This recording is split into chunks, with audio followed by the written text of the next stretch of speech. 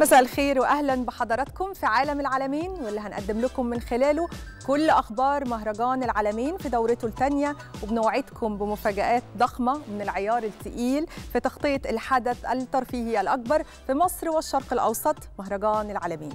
مهرجان العالمين الجديدة واللي بيقام تحت شعار العالم عالمين بدأت فعالياته أول أمس وهيستمر حتى الأسبوع الأول من سبتمبر.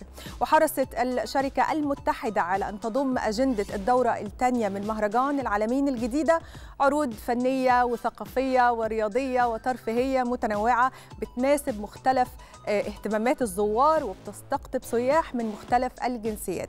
من المقرر كمان أن تشهد نسخة مهرجان العالمين 2024 أكثر من 20 فعالية متنوعة ما بين عروض مسرحية فنية من إنتاج أشهر المنتجين وببطولة ألمع النجوم الكبار والفنانين الشباب.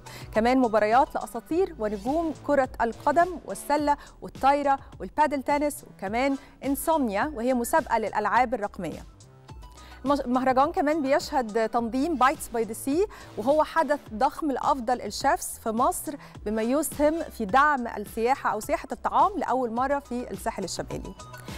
كشف مهرجان العالمين عن إطلاق جوائز مهرجان نبتة للطفل لعام 2024 وهي مسابقة مخصصة للمحتوى العائلي والخاص بالأطفال. تهدف هذه المسابقة إلى دعم وتشجيع الإبداع في المحتوى الموجه للطفل والأسرة من خلال توفير منصة للشركات وصانعي المحتوى الموهوبين لعرض أعمالهم الفريدة والمتميزة. تسعى المسابقة كمان لاكتشاف وتعزيز الأعمال الإبداعية المتميزة في مختلف الفئات الإبداعية. في الكتابة الإبداعية سواء كتب الطفل كتابة السيناريو الشعر للأطفال وفي مجال الأفلام كمان أفلام متحركة ثنائية أو ثلاثية الأبعاد. أفلام حية للأطفال سواء كانت قصيرة أو طويلة وفي مجال الدراما سواء مسلسلات تلفزيونية أو رقمية للأطفال متحركة أو حية. بالإضافة لأغاني مخصصة للطفل ومعالجته وتصميم الشخصيات. في الأسبوع الأول من مهرجان العلمين أقيمت بطولة كرة الطايرة الشاطئية واللي طبعا كان جانب الحفل الكبير الكينج محمد منير وفقرة لفرقة رأس فلسطينية.